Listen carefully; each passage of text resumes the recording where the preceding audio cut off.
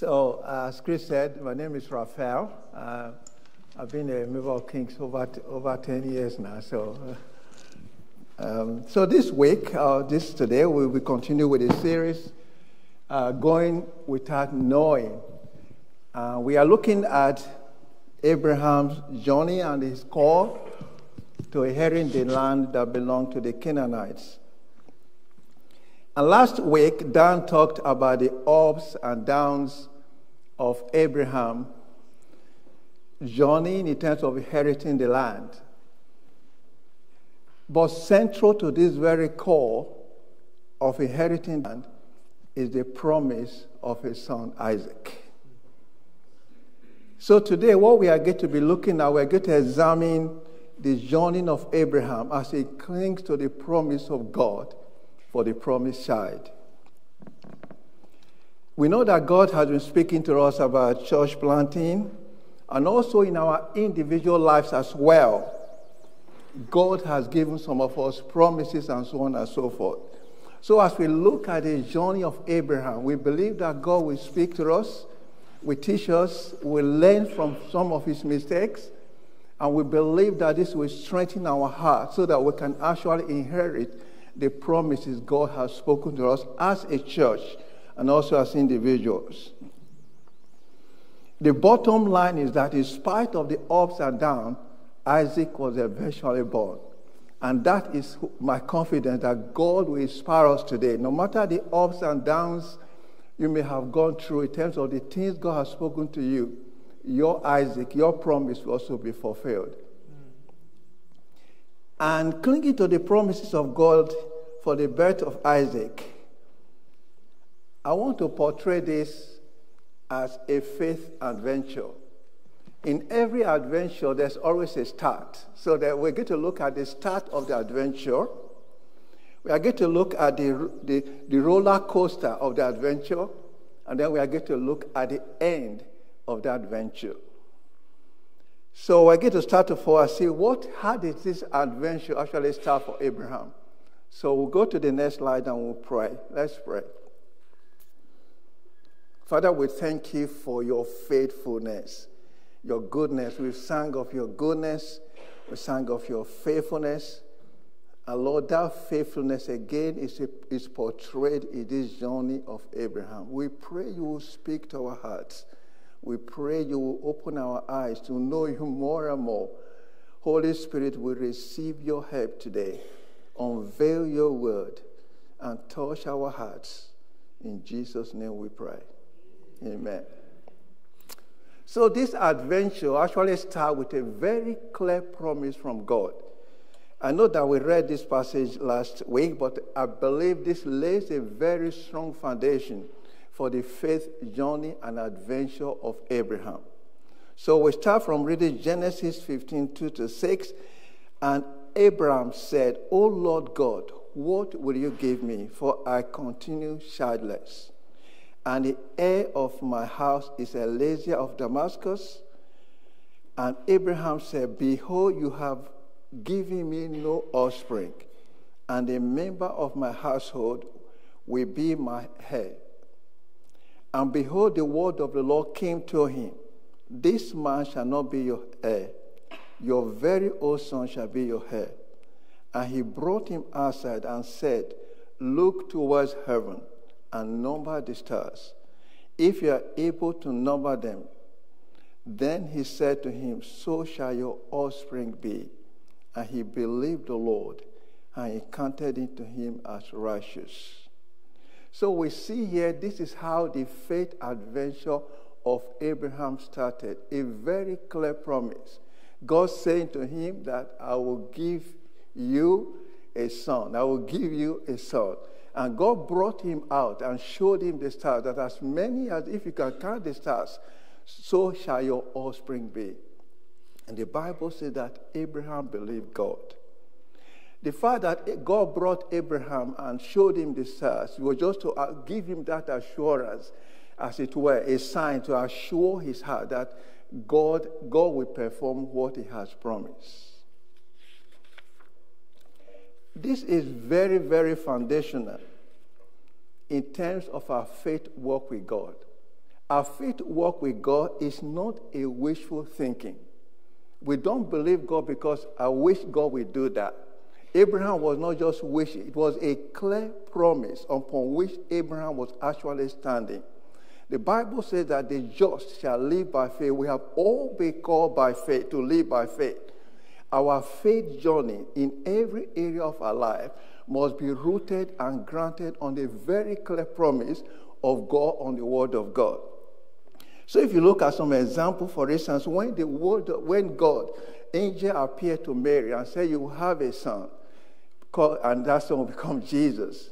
Mary said, "Let it be to me according to your word." So there was that clear promise, that clear word upon which Mary was actually standing upon.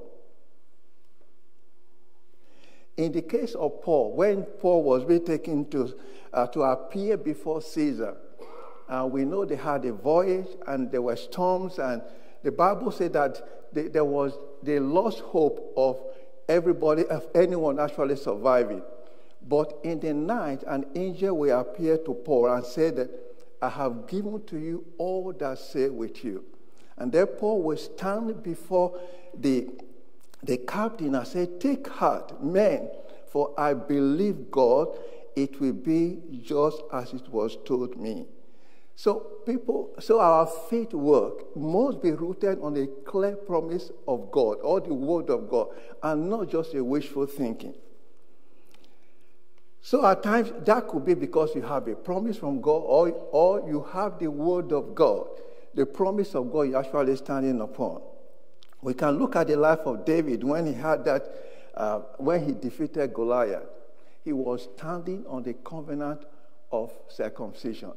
When he saw Goliath, he said, Who is this uncircumcised man that he should defy the armies of God? He was believing God on the fact that he, they are peculiar people on the basis of a very clear covenant with God. So our faith work with God must be based on the very foundation of either a promise from God or a clear word from the Bible. So, are you believing God for something? The next question is what promise or Bible passage are you actually standing upon? There has to be down because that's what God has said. God's faithfulness is attached to His word. God is faithful to His word.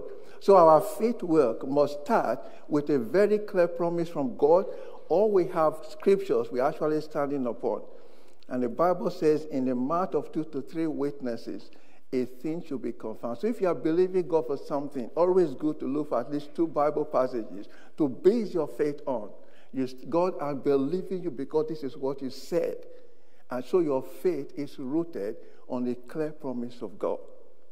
So that was the start of the adventure. The next phase we are going to look at now is the roller coaster of the adventure. If you notice, there was something missing from God's promise there was something missing. There was no chart or, or timeline. God did not put any timeline at all. So as time passes, Abraham and Sarah will really struggle with this because the time was keep going, keep going, and nothing seemed to be happening. So what we are going to look at now, how did Abraham, Abraham and Sarah cope with this timeless promise? And so let's read some passages. We're going to read a, a, few passages this time, then we're going to look at some of the main points that we can actually learn from these passages. So the first one is Genesis 16 1 to 4. Now Sarah, Abraham's wife, had borne him no children, and she had an Egyptian maid servant whose name was Hagar. So Sarah said to Abram, See now, the Lord has restrained me from bearing child. Please go into my maid. Perhaps I shall obtain children by her. And Abraham heeded the voice of Sarah. Then Sarah, Abraham's wife, took Hagar, her maid, the Egyptian, and gave her to her husband Abraham to be his wife. After Abraham has dwelt ten years in the land of Canaan. So he went into Hagar and she conceived.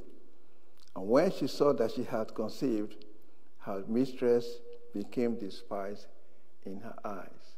And we know the remaining part of the story. Ishmael was born, and the peaceful, harmonious family of Abraham was in disarray. Sarah would accuse, would tell Abraham that God judge between me and you. And, and, and Abraham would tell um, Sarah, Where is your maid? Do whatever you please. And Sarah will send Hagar away, and so on and so forth.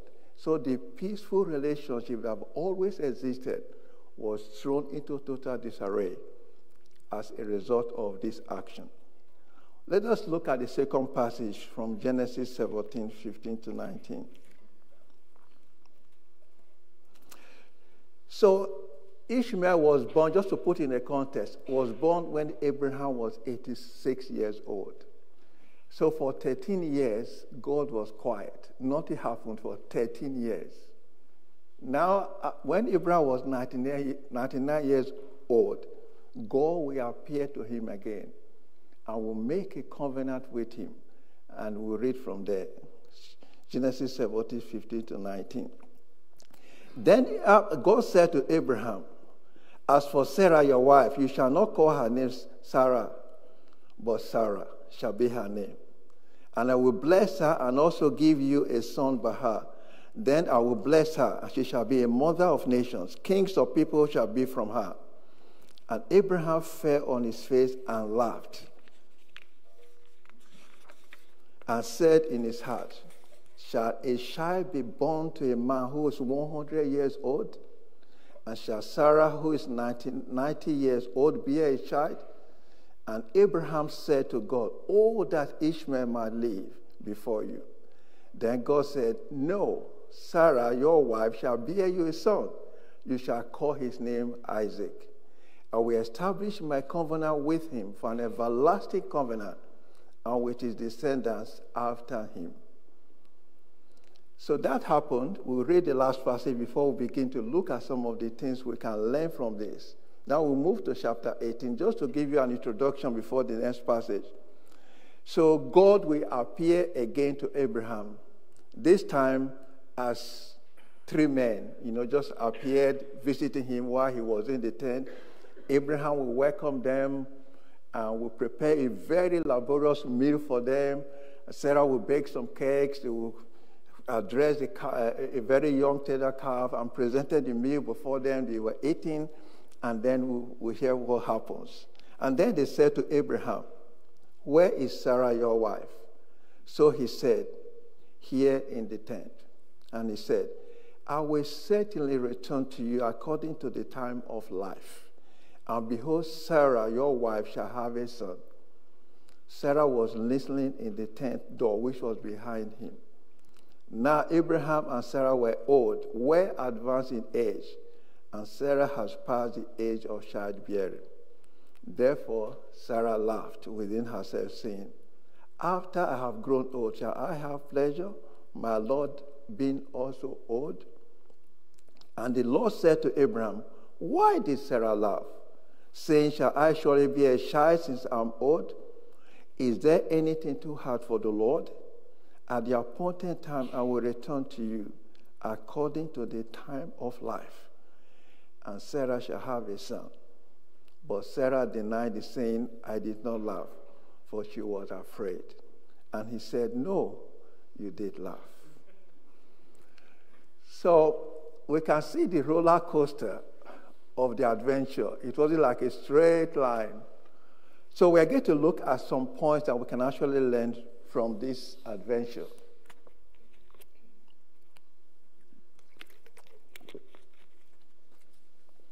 The first point is the difficulty of waiting and the temptation of a shortcut.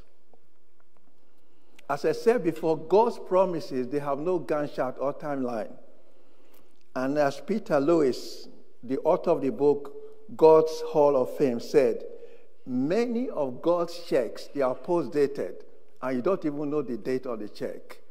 So it calls for patience. Waiting gets more difficult when you have been waiting for a long time for what society considers as an essential issue of life. like having a child. Society will think that is an essential issue of life, or maybe even progressing in your work, or even wanting, wanting to, be get, to get married. Yet there's no, maybe no apparent pro, uh, prospect of seeing your hopes and dreams realized. So, in the case of Abraham and Sarah, central to their very future, their core of inheriting the land, was the birth of Isaac. And it seemed that that future was in jeopardy. So, tired of waiting, Sarah and Abraham yielded to the temptation of a shortcut, and Ishmael was born. It was said Abraham listened to the voice of Sarah. Does that remind you of something? Adam and Eve. Adam will listen to the voice of Eve. So Abraham will listen to the voice of Sarah and we knew what happened. Ishmael was born. Shortcuts can have very huge consequences. The first thing that happened that the relationship between Abraham and Sarah was God strained. Hagar looked down Sarah, she was sent away.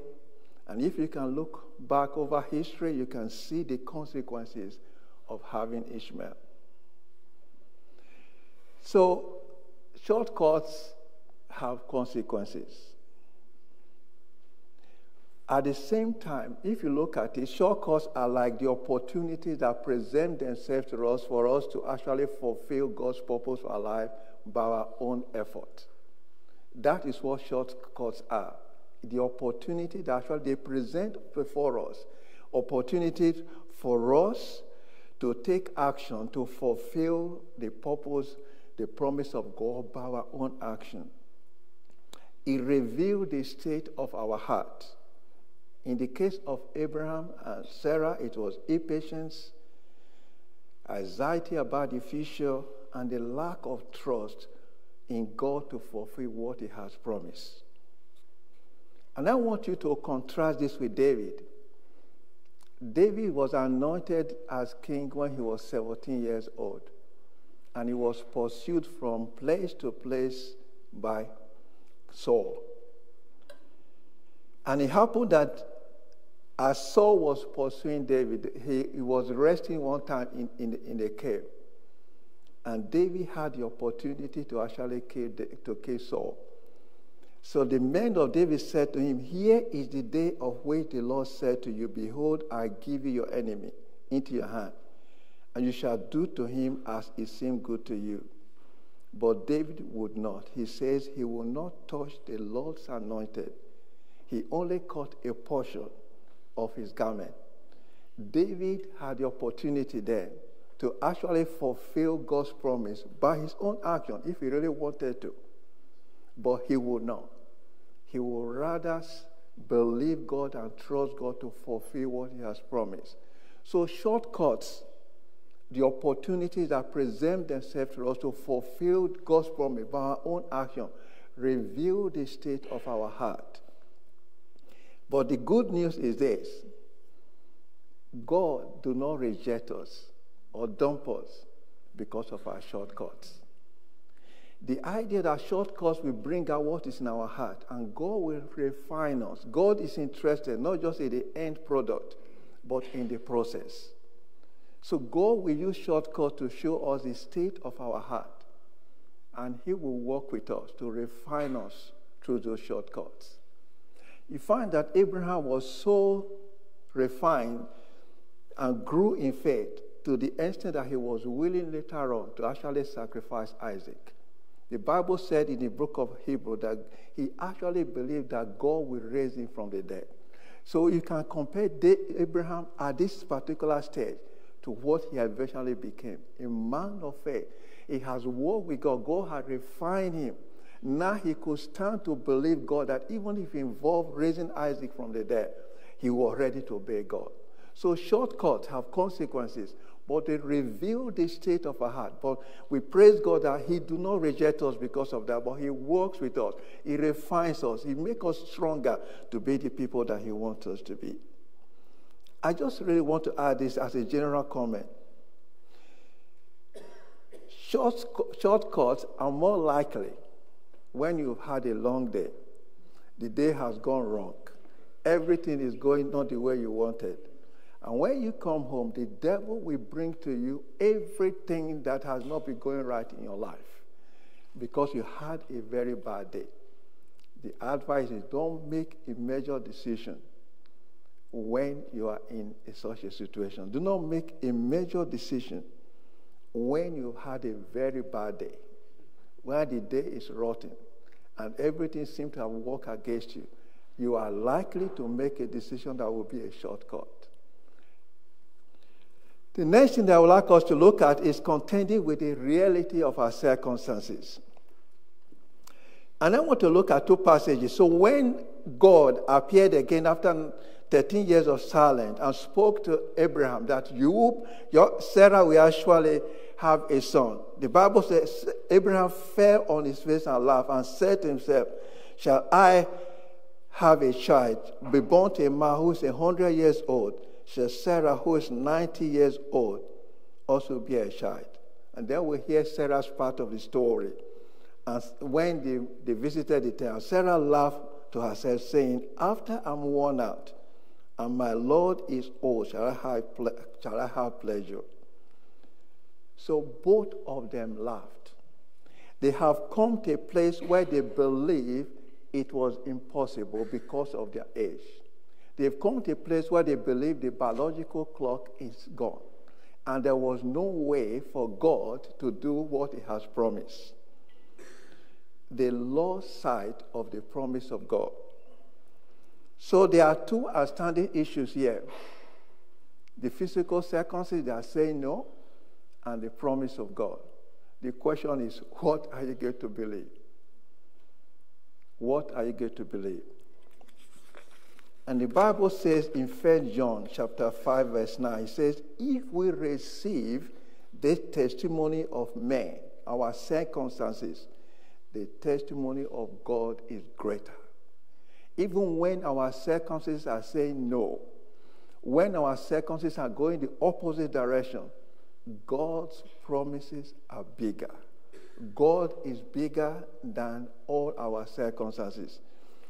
That is why the Bible says, that is why the, when the angels ask Sarah, is anything too hard for God? We choose to believe God rather than our circumstances.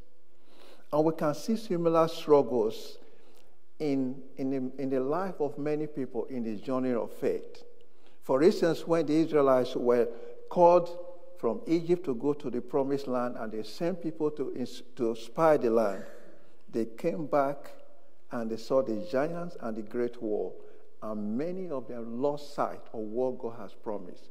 They rather believed to circumstances rather than what God promised.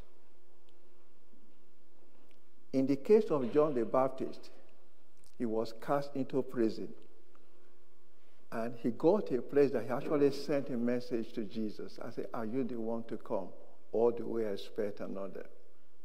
So our contending with our we do not deny our circumstances, not at all. We are not saying we are not it's not that we refuse to face the reality of the circumstances that face us. Rather, we choose to believe that God is bigger than our circumstances. And Romans 3, uh, 3 to 4 says, For what if some did not believe? Will their unbelief make the faithfulness of God without effect?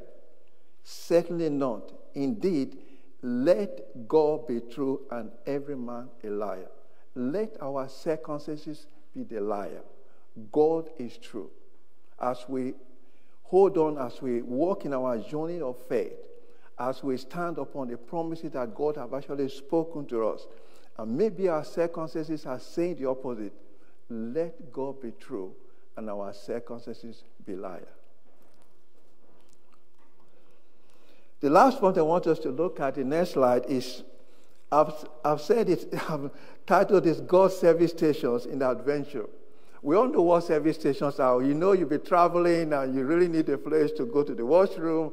You need, you need to buy some food. You need to buy some. Oh, what a refreshing when you come to a service station. And God also knows that in the adventure of faith, we need refreshing. So, for instance, God will say the same thing many times. So in chapter 17, he said to Abraham, As for Sarah your wife, you shall not call her Sarai again, but Sarah shall be her name. I will bless her. Moreover, I'll give her a son. I'll give you a son by her. And then when the angels came again, God will say it again. I will surely return to you about this time next year. And Sarah, your wife, shall have a son. What is God say, doing? Faith comes by hearing and hearing by the word of God. God keeps saying the same thing. God keeps saying the same thing. Faith does not come by having heard. Faith comes by hearing and hearing again and hearing again and hearing the word of God again. That is how God refreshes us. Whether we like it or not, we are leaking vessels. If you look at the parable of the sower, it's talking about the seed that fell among the thorns. He said, These are they that fell among the thorns. These are the ones who hear the word, and the cares of this life, the deceitfulness of riches, the desires for other things, entering in, choke the word. Our struggles for life, all the issues we have to deal with life, over time, the promises begin to lose their grip in our heart. So we keep need to hear it again. God will say it again. God will say it again, building up their faith. Actually, there's something very significant as well.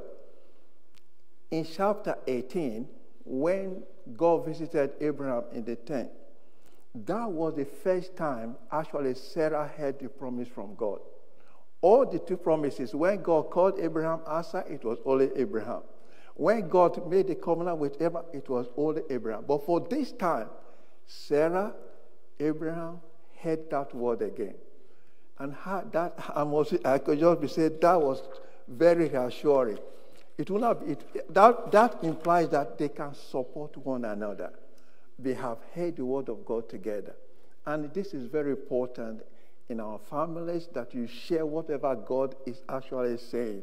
That your wife, your spouse know exactly the clear promise of God. And also for, for our church leaders, they, keep they should keep on reminding us of what God has said. So we all are in the same place of faith. We believe in God together because we have heard the word of God over and over again. It places us in a place of common faith, of walking together, of having heard from God together. We can stand together and press into all the things God has promised us. Now, to finish off, we're going to look at the joyful end of the adventure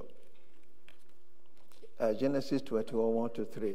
And the Lord visited Sarah as he has said, and the Lord did for Sarah as he has spoken. For Sarah conceived and bore Abraham a son in his old age, at the set time of which God had spoken to him. And Abraham called the name of his son, who was born to him, whom Sarah bore to him, Isaac. I could just imagine the joy. Isaac has been born laughter has been born. At last, God's promise has been fulfilled. But I just want to, finishing up, just point out at three things. One, God faithfulness. The fact that Isaac was born is not because Abraham and Sarah were so faithful. We know all their ups and downs. It is the faithfulness of God. That is where our confidence, that is what actually carries on. It is the faithfulness of God. And so in 2 Timothy 2.13, it says, if we are faithless, he remains faithful. He cannot deny himself. God is God's faithfulness. As we hold on to the promises God has spoken to us, it's not your so much of your ability to hold on that will change things. It is the faithfulness. You can rest. You can trust in the faith. God cannot deny himself. That is one of the things I like us to take home. The second time is God's timeline or due line. The word set time was used three times in the whole passage. I've just highlighted the passages where it is used three times. I'm not going to go over that again it gives us the assurance that God's word will be fulfilled in due time if we will never give up. God, in his own way and wisdom, have a set time. We don't know why, But if we will not hold, if we will not give up, if we hold on to what God has promised us, in due time it will be fulfilled. Then the last one is the need for patience. And that is from Hebrews 10 36 to 38. Say, cast not away therefore your confidence, which has great recompense of reward. For you have need of patience, that after you've done the will of God, you might receive the promise. Now the just shall live by faith. But if any man draw back, my soul shall have no pleasure in him. Cast not away your confidence. We have need for patience. We have need for patience. I know patience in this modern society is, is just contrary to the way everything operates. We have the microwave, we have everything that give us instant solution. But the Bible says, do not cast away your confidence. You have need for patience. Need for patience. The joy shall live by faith. And he said, If any man draw back, my soul have no pleasure in him. So Abraham was called the father of faith if you read Romans 4. Yes, indeed, he has his ups and downs. But there was there's something about him. He never drew back. He never gave up on God. And my encouragement today for us as a church, as God calls us to church planting, as God has spoken to us individual, you have need for patience do not cast away your confidence. It may, it may have the yo yo, although dad doesn't want to use the word yo yo, but God is faithful. He will bring to pass what He has promised. So we go to spend some time to pray. Just to, maybe just a few comments. So if you feel, for instance, you maybe you have taken some shortcuts, God has not rejected you. And I really want you to pray this morning as we pray to say, God, I'm coming back. I may have taken some shortcut, but I'm coming back. I'm putting my trust afresh in you. Have you been waiting for a long time on certain issues of your life? I really want you to renew your faith and confidence again. Look, go back. Go back to those promises. Go back to those service stations. Read again what God has said to you. Read again those scriptures. Build up your faith. God is faithful. He cannot deny himself. Shall we pray?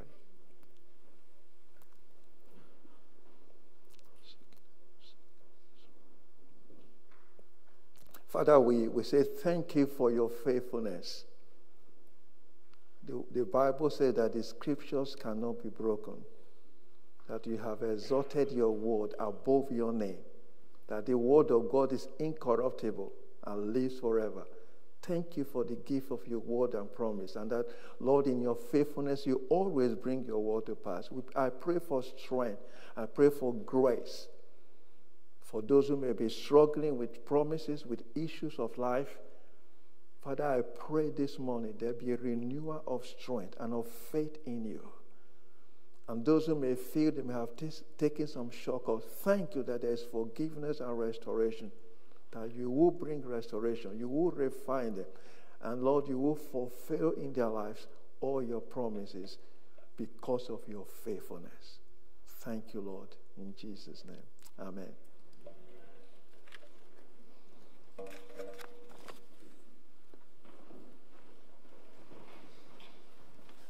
So they will just sing a song and then you can round off.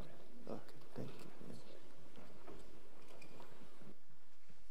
Let's stand and sing together as a, a response.